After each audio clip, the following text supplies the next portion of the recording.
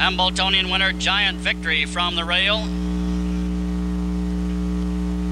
Here they come.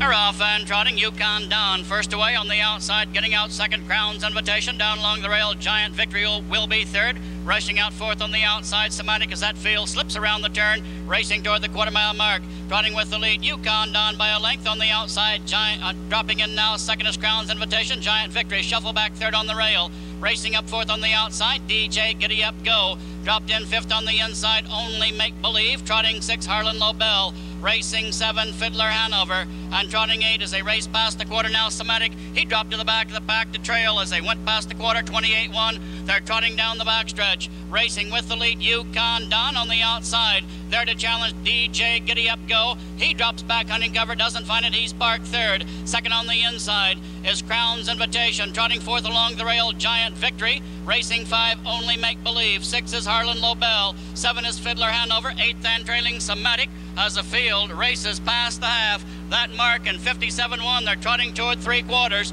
Racing with the lead by a length is Yukon Don. On the outside, still there, second as they swing around the turn. DJ Giddy Up Go.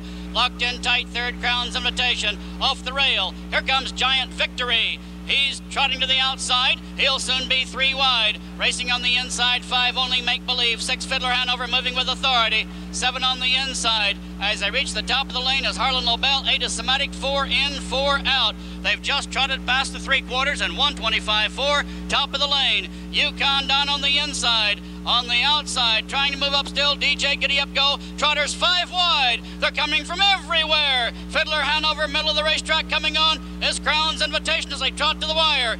In the final 16th, Giant Victory now. Giant Victory burst between them and Crown's Invitation. Those two along the rail, Yukon Don. It's going to be Giant Victory. owned by Jacqueline and Theodore Gewurz and the Robbins Racing Stable of New Jersey and New York. Driven by Ron Pierce, Hambletonian winner, Giant Victory.